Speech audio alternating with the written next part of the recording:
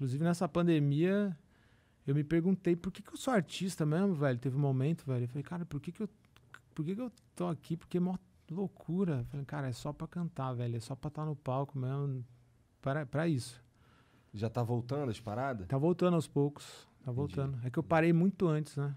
Fui, mano, eu fui o primeiro caso de Santa Catarina, velho, de Covid. Caralho! Registrado, velho. Caralho, que Quadra- azar. o quadragésimo brasileiro e o primeiro caso de Santa Catarina. Eu e uma mulher ao mesmo tempo. Puta que, Que pariu. loucura. E eu fiquei sabendo pelo jornal ainda. Sério. Caralho.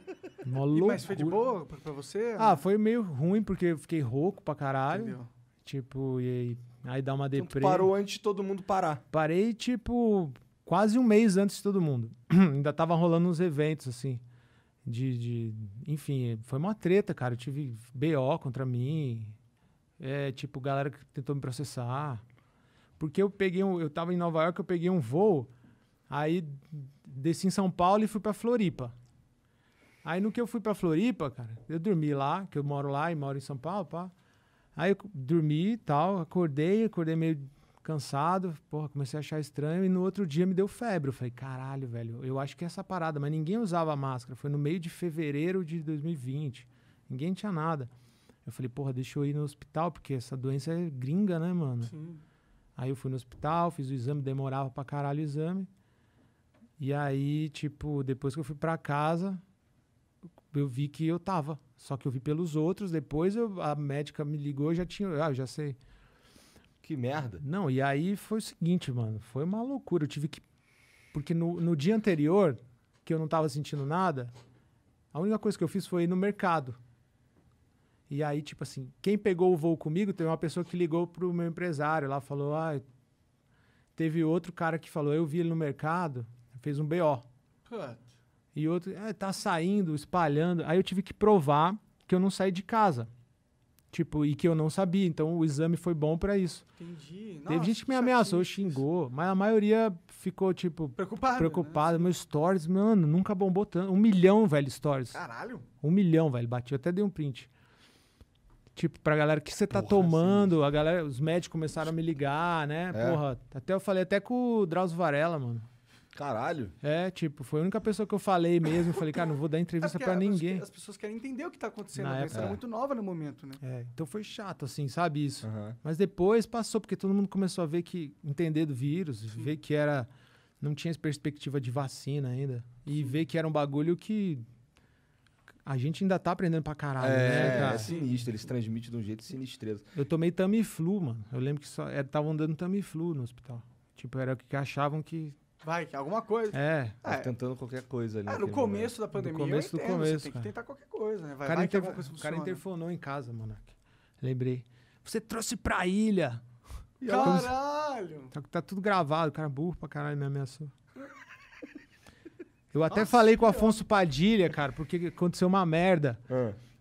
Tipo, e ele, pô, ele é mó figura, eu sou fã dele, né? Ah, aham. E aí ele tava num show, ele, tipo, duas semanas depois que eu já tinha pegado, ele tava num show em Floripa. E aí ele fez uma piada muito engraçada, inclusive, que ele falou: Aê, galera, pô, ô, dita aí, da hora que você veio de, tipo. Aí a galera riu, tá ligado? Pra caralho. Só que aí ele escreveu um bagulho assim, de Ferreiro, que é, viajou com Covid. Pegou um voo, tá? deu a entender que eu tinha pegado um voo. Aí, Tu tava velho, com corona e pegou o É, voo. aí De fudeu. propósito, né? Aí eu liguei pra ele, falei, caralho, consegui o número pelo Maurício Meirelles, que é meu, irmãozaço meu. Falei, pô, mano, tira. Ele falou, não, mano, isso aí é meu ganha-pão. Falei, caralho, mas só tira a edição. Aí ele demorou um dia. Aí o vídeo, tipo, já bateu um milhão. Falei, pelo amor de Deus, mano, tira, tá me dando problema. Tipo, contratante, a galera, sabe, que tinha Sei, sei de remarcar show. Sim. Eu falei, não, eu não peguei, só tira isso. Eu, mano, eu nunca processei ninguém, mas foi quase dessa vez, mano. Eu falei, caralho, eu acho que eu vou processar o Afonso, mano. Vai ser a primeira. Ele não tira, mano. Ele demorou, mas tirou, velho. Aí a gente já se falou, tá tudo certo. Afonso, vai tomar no cu. Não, mano, ele é sempre bom. mas tá tudo certo. Falei com ele já. Falei, aí, Afonso, pô, demorou, mas era, era muito foda, tava todo mundo inflamado, mano. Mas Era eu um entendo, os começo- comediantes eles ficam sempre assim, de tirar uma piada do ar, né? Entendo, Lógico, mano. Sim, sim. E também dá pra entender, né, velho? Foi caso- engraçado, eu ri da piada, mas era só tira aquilo que tava escrito, pelo amor, mano, tava foda. Aí eu, porra, quase processei, nunca processei ninguém. Ah, mas que bom que você resolveu sem ter. que- Resolveu É. e ele é mó sangue bom, depois tirou. E aí, de- aí tá, aí tu, e durante a pandemia tu escreveu teu primeiro álbum, cara? Aí durante a pandemia, eu comecei a. Eu lancei umas músicas tal, tipo, lancei uma que, que eu gravei no meu armário, assim, com o celular, que chama Vai Passar. Foi, foi, tipo, depois que eu voltei a cantar, eu sentei na mesa com a minha mina, com a Isabelle, né? Um beijo, baby. E aí saiu um som e tal. Aí eu gravei e falei, porra, legal, mano. E comecei a compor. Tanto é que aqui, eu vou até dar os adesivos pra vocês. Daí. Chama. O álbum vai chamar Uma Bad e uma Farra. Que é pós-apocalíptico. que Eu tô chamando. Tamo num, É. num ambiente propício ultimamente. Eu vou deixar aí pro Flow, ó. Tem um monte de adesivo. Demorou. Da hora, nós demorou, vamos- obrigado. Deixa pra galera toda. Da hora, da hora. E aí foi isso. Eu comecei a compor uns sons, tipo. Só que. Eu já lancei vários singles, né? E eu não tava seguro ainda pra lançar um álbum. Mas por quê? Ah, eu já lancei vários álbuns com o NX, mas nunca solo. Eu não sei te falar por quê, porque. Pensa, eu tava numa banda, porra, bombada, mano, a gente não brigou, a gente deu uma pausa, é tudo irmão. Tipo, eu amo os caras. E. Só que eu não tava muito feliz numa época. Não sei, mano. Bateu uma parada de tipo. E aí eu tava assim, porra, reclamando de. Será que eu tô reclamando de boca cheia? O que, que tá acontecendo? Eu queria fazer umas paradas diferentes. E eu fui sincero com os caras e todo mundo se programou e pausou. E aí eu comecei a fazer uns singles, tipo, fiz uns- umas paradas mais.